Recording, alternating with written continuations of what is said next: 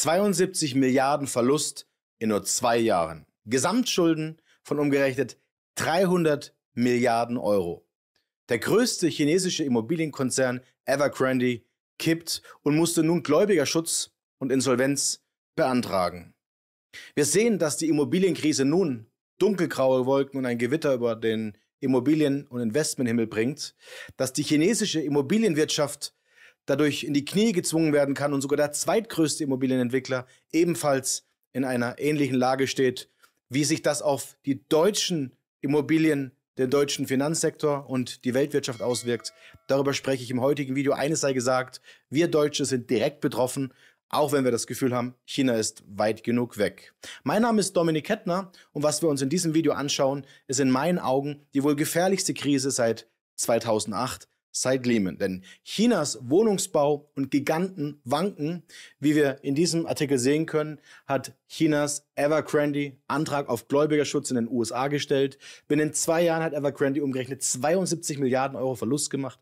Die Schwierigkeiten kommen mitten in einer ganzen Reihe von schlechten Nachrichten aus China. Dazu in diesem Video mehr. Wir schauen uns auch an, wie ihr diese Situation sogar nutzen könnt und wie ihr davon profitieren könnt. Allerdings sehen diese Perspektive wohl die wenigsten, die nun wieder mal in Angst und Starre stecken bleiben. Denn einer der größten Immobilienentwickler der Welt, der nun zu kippen droht und der nun in die Insolvenz geht, hat tatsächlich in China Insolvenz angemeldet. Das, was vor einigen Monaten von den Medien dann wieder für erledigt und für begraben erklärt wurde, wird nun Realität. Darüber habe ich in diesem Video auch schon ausführlich gesprochen. Also unsere Zuschauer hatten wieder mal ein Frühwarnsystem. Dass Evergrande in den USA Insolvenz und Gläubigerschutz beantragte, liegt vor allem daran, weil viele Investoren aus den USA in China investiert sind. Und die Konsequenz, die wir dadurch alle sehen werden, ist, dass die Auswirkungen einer schwächelnden chinesischen Wirtschaft, die durch diesen Ausfall und einen möglichen weiteren Ausfall sogar in die Knie gezwungen werden kann, werden wir als wichtigster Handelspartner Chinas massiv spüren. Ich werde über die Hintergründe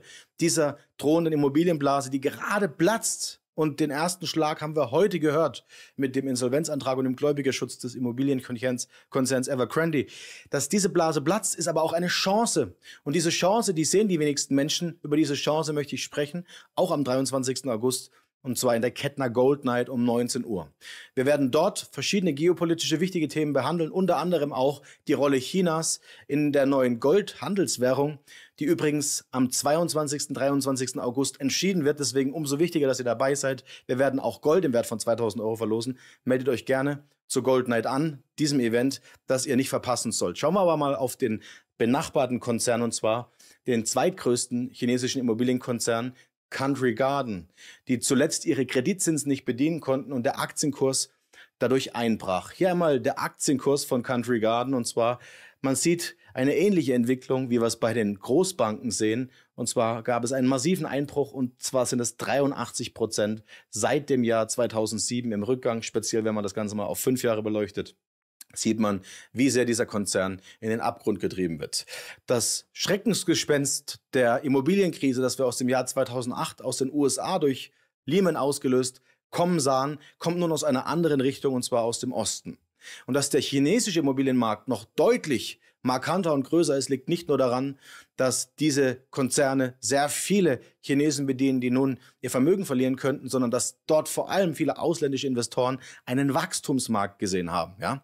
Und wenn nur in wenigen Tagen einige Warnungen einer Pleite des chinesischen Immobiliengiganten Country Garden nach außen gegeben werden und das dann dazu führt, dass immer weiter die Aktie abstürzt, bis zum Punkt, dass zufälligerweise die Zinszahlungen in Millionenhöhe für Kredite nicht mehr geleistet werden können, dann zeigt das auch, dass das wirklich gerechtfertigt der tiefste Aktienstand seit November 2022 ist. Wir bewegen uns also in eine Megakrise, in eine Schuldenkrise, wie wir sie uns so nicht vorstellen konnten, nachdem Lehman ja für die meisten erledigt ist. Schauen wir uns auch mal die Aktie hier in dem Fall von dem ja größten chinesischen Immobilienkonzern Evergrande an und wir erkennen hierbei schnell, dass das Ganze nicht mehr zu retten ist. Mit 2,4 Billionen Yuan heißt es im Handelsblattartikel, umgerechnet 300 Milliarden Euro, verschuldete sich das Unternehmen. Das ist das meistverschuldete oder das größtverschuldetste Unternehmen am chinesischen Aktienhimmel. Und man ist derzeit so stark in Schieflage, dass es vor allem darum geht, dass jetzt die chinesische Regierung nach außen ihr Gesicht wahren kann. Denn die Schulden in 300 Milliarden Höhe können selbst von der chinesischen Regierung nicht ohne weiteres aufgefangen werden. Keine Immobilienfirma weltweit hat mehr Schulden und Country Garden, also der zweitgrößte Konzern, hat eine Verschuldung von 150 Milliarden, wie es in diesem Artikel heißt. Allerdings ist das Spannende daran, trotz dass Evergrande viel größer ist, dass Country Garden, also der zweitgrößte Immobilienkonzern, viermal so viele Projekte wie Evergrande betrieben hat. Wenn also Country Garden ausfällt, wäre das wirklich der Super-GAU für den Immobilienmarkt und das zeitgleich. Man hat die Krise kommen sehen, aber man möchte die Insolvenz nun geordnet abwickeln ob sich allerdings in dieser Größenordnung von mehreren hunderten Milliarden eine Insolvenz geordnet abwickeln lässt, daran habe ich meine Zweifel. Die Auswirkungen sehen wir bereits auch auf unsere Finanzbranche, auch hier in Deutschland. Dazu kommen wir aber gleich. Schauen wir uns aber zuerst einmal an, was in diesem Artikel des Handelsblatts der sogenannte Chongrong International Trust, also einer der größten Anbieter von Treuhandfonds, seit Ende Juli tut. Denn man verweigert die Rückzahlungen auf zahlreiche seiner Produkte oder setzt diese zumindest aus. Das heißt, die Investoren kommen nicht mehr in ihr Geld und können es nicht mehr abziehen, wie wir es auch gesehen haben zum Schutz der UBS, dass der Aktienhandel kurzzeitig ausgesetzt wurde und bei zahlreichen anderen Banken, die dann pleite gingen. Gegenüber den Investoren heißt es allerdings in diesem Artikel, und da muss ich mich wirklich wegschmeißen, man spricht von kurzfristigen Liquiditätsschwierigkeiten. Ich bin besonders besorgt darüber, dass auch die deutschen Medien sehr, sehr harmlos über diese Krise berichten, denn Vielleicht brennt es bei uns deutlich mehr, als man uns sagen möchte. Und genau das ist eben meine Vermutung, denn sonst würden sich die Medien natürlich auf dieses gefundene Fressen stürzen. Dass aber die Politik womöglich ihre Hand drüber hält, dass die deutschen Immobilieninvestoren eben ruhig bleiben, ist hier durchaus wahrscheinlich. Chinas Staatsführung und das ist das besonders Spannende, wird momentan extrem unruhig, denn Chinas Staatsbanken verkaufen offenbar die Dollars zur Stützung des Yuans. Also man gibt seine Dollarreserven, seine Staatsanleihen derzeit ab oder verkauft große Teile davon, um den Yuan zu stürzen. Stürzt damit aber auch den Dollar wiederum in ein Desaster. Das ist eine massive Katastrophe auch für uns Deutsche. Und das ist es, worüber ich mit euch sprechen möchte. Denn die meisten können sich nicht vorstellen, dass der chinesische Immobilienmarkt Auswirkungen auf uns alle hat. Und mit der steigenden Arbeitslosenquote in Deutschland und den sinkenden Reallöhnen wird die Investitionslaune von vielen Menschen ohnehin getrübt, aber auch internationale Investoren sind immer zurückhaltender, denn die Folgen einer Immobilienkrise in dieser Größenordnung würden sich eben genau auch auf einen ohnehin angeschlagenen deutschen Markt auswirken. Wir befinden uns eben in einer Rezession. Viele Unternehmen haben Kurzarbeit angemeldet. Auch darüber wird nicht ausgiebig gesprochen. Und Dr. Wan Sinf Liu vom Kieler Institut für Weltwirtschaft warnt hier in diesem Artikel auch ausgiebig. Und zwar sagt er, Umsatzverluste für deutsche Exportunternehmen würden drohen. Wer in China produziert, heißt es zudem, bekommt noch mehr Billigkonkurrenz und das deutsche Wirtschaftswachstum würde noch mehr ins Minus laufen. Also das heißt, die Rezession würde noch schneller nach unten gedrückt, sollte diese Krise tatsächlich zu uns kommen. Und ich bin stark überzeugt davon, dass dies der Fall ist. Denn wenn wir uns mal die deutsche Immobilienlandschaft anschauen, dann gerät die Immobilienbranche auch schon ohne den chinesischen Markt extrem unter Druck. Zahlreiche Experten waren nämlich vor einer Pleitewelle, wie es in diesem Artikel heißt, bei den Projektentwicklern. Das Handelsblatt ebenfalls greift das Thema auf und warnt eben vor dieser Pleitewelle bei den deutschen Immobilienentwicklern innerhalb weniger Wochen.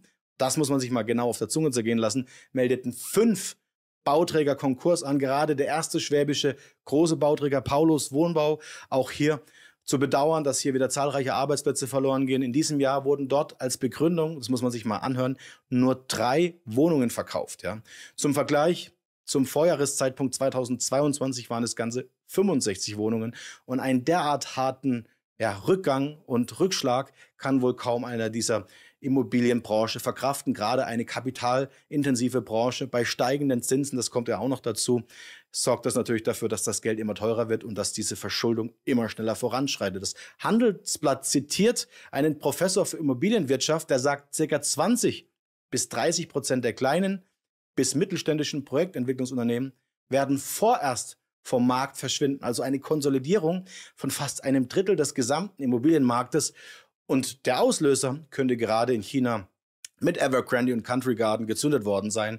Nehmt euch also in Acht als Immobilieninvestoren, privaten Immobilienbesitzern, die ihr Eigenheim abbezahlt haben und es für sich zum Wohnen oder zum Wohnraum nutzen, würde ich anraten, die Füße stillzuhalten und denjenigen ohne Zinsfestschreibung Den werde ich ein weiteres Video widmen, denn das ist ein spannendes Thema. Darüber spreche ich vor allem nochmal ausgiebig in der Kettner Gold Night am 23. August um 19 Uhr, also kommenden Mittwoch. Melde dich dazu jetzt gerne an. Mit Max Otto habe ich über den Umbruch unserer Weltordnung gesprochen, die ja derzeit wirklich für jeden sichtbar wird. In diesem Video kannst du dir seine Meinung anschauen, Professor Dr. Otte. Ich schätze seine Meinung sehr. Bis zum nächsten Video. Schönes Wochenende für euch. Bis bald.